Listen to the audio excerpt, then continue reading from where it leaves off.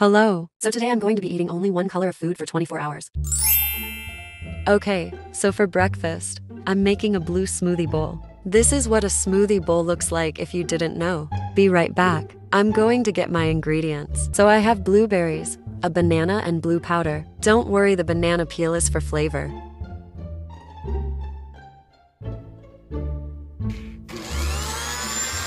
Wow, this is so satisfying. So here is the final results. What do y'all think? It looks so good. Let's dig in. Oh, my gosh. Guys, you definitely need to try.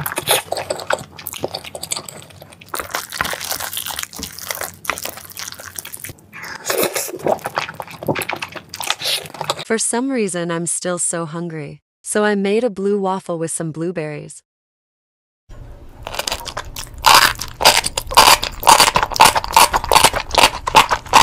I'm eating the plate because wasting food isn't good. So for lunch, I'm going to be making blue noodles. This is how it will look. So here are my ingredients. Let me get some scissors.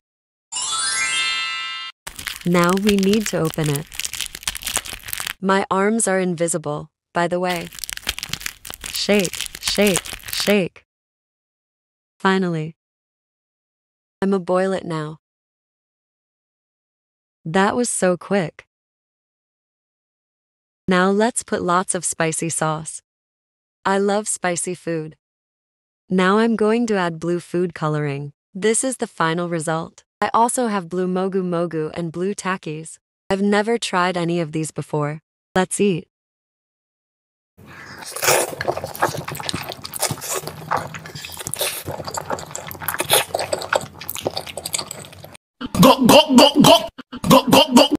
Refreshing.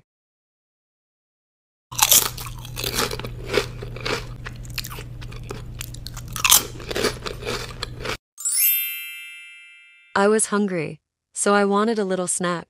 I have an ice lolly, candy floss, Doritos, a cake, a macaron, and blue apple. I'm going to try the apple first. It tastes like a normal apple mixed with blueberry. Now, candy floss. Literally melted into my mouth. Now, Doritos.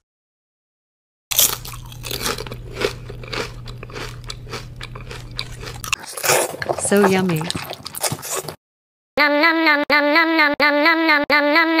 I saved the best till last.